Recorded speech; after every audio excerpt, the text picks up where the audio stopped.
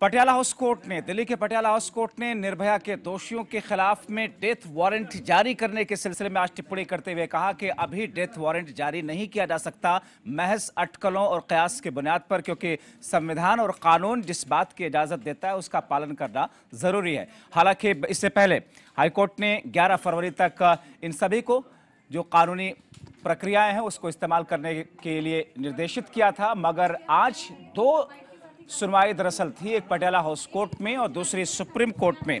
Supreme court ने आज की सुनवाई को टाल दिया है और ऐसे में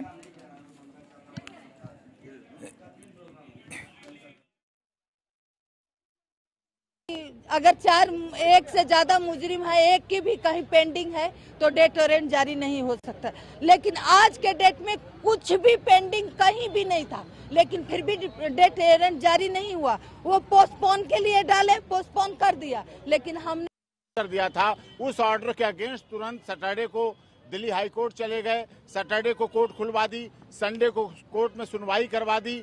बुधवार को जल्दी से ऑर्डर करवा दिया और उस ऑर्डर में भी दिल्ली हाई कोर्ट ने भी पटेला हाउस कोर्ट के जो आदेश दिया था अनिश्चितकालीन के लिए फांसी को टालने का, उसको बरकरार रखा। आज जो अक्षय विनय पवन की यहाँ डेथ वारंट जारी करने के लिए पिटीशन लगाई थी, दिल्ली सरकार तिहाड़ जेल ने उसको डिसमिस कर दिया गया है और कहा आगे जब प्रोसेस पूरा होगा तो उसके बाद आगे का प्रोसेस किया जाएगा।